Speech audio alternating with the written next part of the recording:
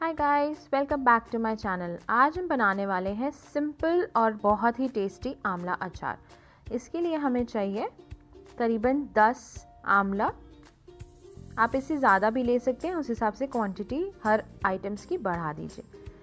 फिर हम लेंगे एक चम्मच नमक, एक चम्मच हल्दी और एक चम्मच लाल मिर्च पाउडर। फिर हम लेंगे एक चम्मच अजवाइन, आधी चम्मच काला जीरा या आप मंगरेल या कलौंजी, जो भी कहना चाहें इसे, वो लेंगे। फिर करीबन दो चम्मच सरसों चाहिए हमें। इस दो चम्मच सरसों को हम दरदरा पीस लेंगे। आप इसे मिक्सी में पीस सकते हैं या इसे अच्छी तरीके से कूट भी सकते हैं। इस तरीके से दरदरा हमें पीसना है।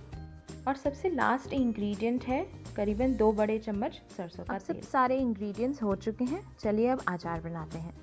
इसके लिए पहले हम 10 पीस जो हमने आंवला लिया है हम इसे करीबन दो कप पानी में और हल्का सा नमक डाल करके इसे उबालेंगे।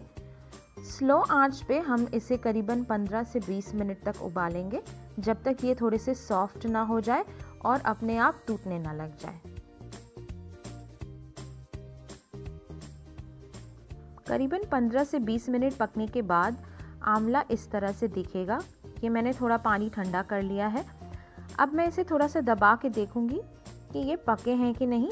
आप एक छुरी की सहायता से भी देख सकते हैं। ये बिल्कुल आसानी से अंदर चला जा रहा है। इसका मतलब ये कि ये पक चुके हैं। आप इसे इस तरह से दबा करके भी देख सकते हैं। ये इस तरह से टूट जाएँगे। इसका मतलब ये है कि ये बिल्कुल ही पूरी तरीके से अब आचार बनाने के लिए रेडी है।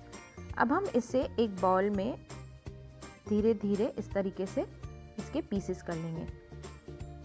आपको इसे काटने की ज़रूरत नहीं है। आप धीरे धीरे अगर हाथों से ही इस तरह से उसे प्रेस करेंगे, दबा करके तो वो निकल जाएँगे और इस तरीके से इसके पीसेस भी हो जाएँगे। आप देख सकते हैं, बिल्कुल ही आसानी से मैंने इसके पीसेस कर लिए हैं। ये जो आंवला का पानी है, आप इसे फेंकिए मत। इसे आप एक ड्रिंक समझकर पी सकते हैं, जो आपकी सेहत के लिए काफ़ी लाभदायक होगा। हमने इस तरीके से सभी आमले को तोड़ लिया है। ऐसे पीसेस कर लिए हैं और इसके बीज हटा दिए हैं। अब हम इसमें सारे इंग्रेडिएंट्स मिक्स करेंगे। सबसे पहले हम इसमें सरसों डाल रहे हैं, पीसी हुई सरसों। फिर करीबन एक चम्मच नमक। मैं नमक थोड़ा कम डाल रही हूँ, क्योंकि मुझे हाई ब्लड प्रेशर है। आप पूरा एक चम्मच डाल सकते हैं।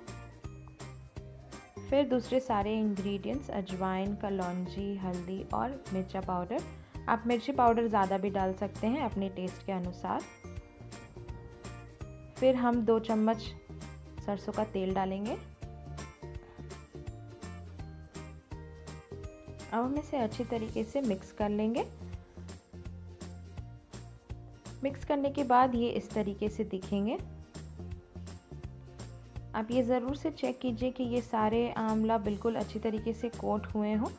अब हम इसे करीबन दो दिन तक इसी तरीके से इसी बाउल में कुछ हल्का सा ढक करके धूप में रखेंगे। अगर धूप में नहीं रख पाते हैं तो करीबन चार दिन तक आप इसी तरीके से आप कहीं भी घर के कोने में इसे रख सकते हैं।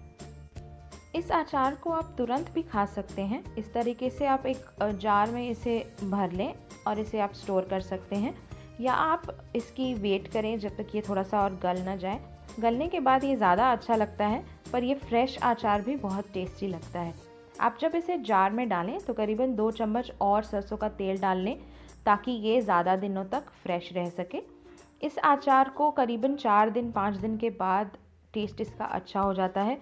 लेकिन आप इसे ज़्यादा से ज़्यादा तीन से चार महीने तक रखें, उसके बाद आंवला काफ़ी काले पड़ जाते हैं जो उसका टेस्ट काफ़ी डिटीरेट हो जाता है। तो आप इसे कम क्वांटिटी में बनाएँ और जल्दी ख़त्म कर लें। होप आपको ये रेसिपी अच्छी लगी हो। अगर आपको अच्छी लगी है तो प्लीज़ मेरे चैनल को सब्सक्राइब करना ना भूलिए। Thank you